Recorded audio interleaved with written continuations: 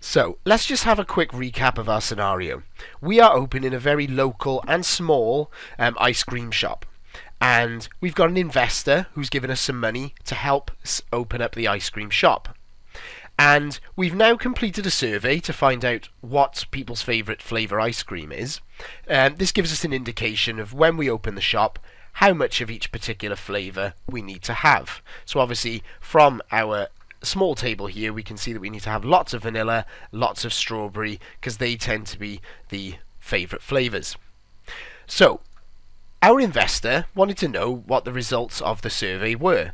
Now, currently with our spreadsheet, what I would have to do is I would have to get a computer in front of the investor and be able to show them this table here.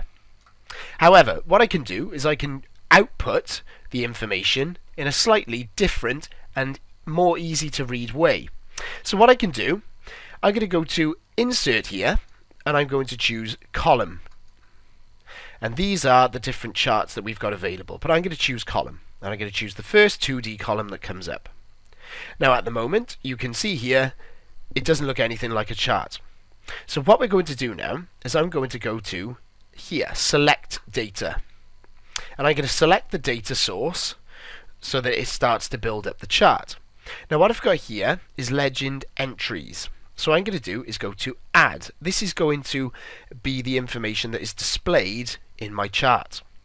So I'm going to go to add. And the series name here, if I click on this little icon here for select range, what I'm going to do is choose the series name. Now the name of this series, this here, each bar is a series.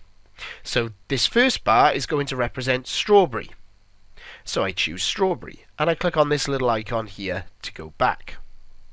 What's the value of the strawberry? Well I know it's 7 so I click on this little icon and click on the 7.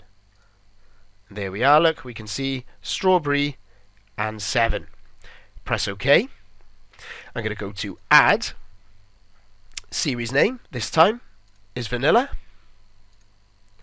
Series value is 11. Click on this little icon and press OK. And what you do then is you add and you repeat that process until you've done it for all of the ice cream flavors and their amounts. And you should find then that your chart represents that. So I'm going to leave you to do that and in the next video we're going to look at labeling the chart appropriately so that the investor knows exactly what they're looking at and what the data represents.